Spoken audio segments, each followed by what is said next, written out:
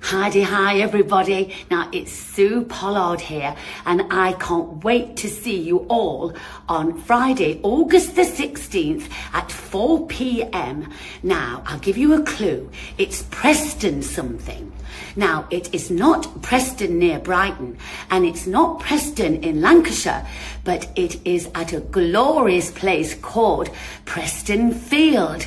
And I'm going to be there having a jolly, marvellous frolic and fabulous fun with my great friend, Mr. Chris Biggins.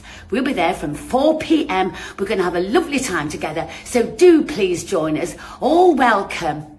Lots of love. Tra for now. I'm so excited.